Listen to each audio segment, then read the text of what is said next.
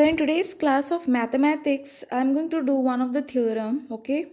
Show that the union of two equivalence relation is not necessarily an equivalence relation, okay?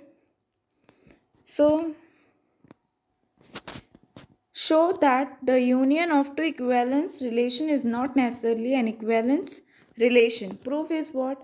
Let A take a set, okay? A is equal to small a comma b comma c and let r and s be two relation on a. This r and s are the two relation on this a. Given by r is equal to what? A comma a b comma b c comma c a comma b and b comma a. Okay? And s is equal to what? A comma a b comma b c comma c b comma c and c comma b. Okay? Now it can be easily seen that each one of R and S is an equivalence relation on A, but R union S is not transitive. Okay, this R union S is not transitive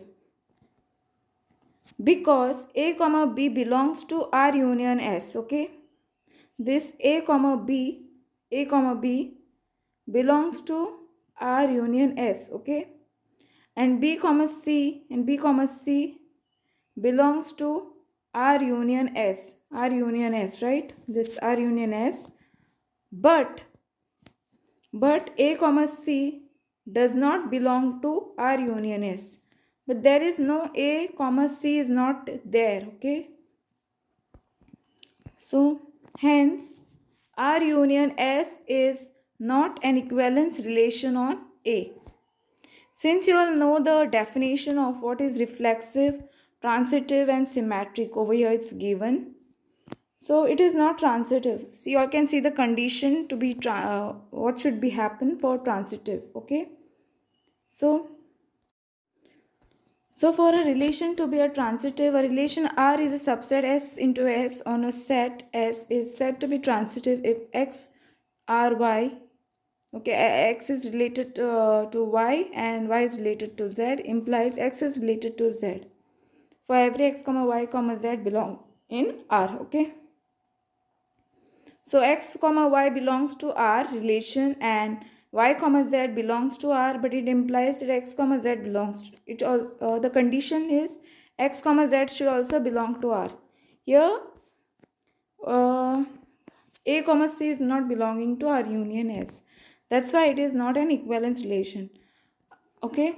It should satisfy all these condition for an equivalence relation. It should be reflexive, trans, uh, symmetric and transitive. Okay.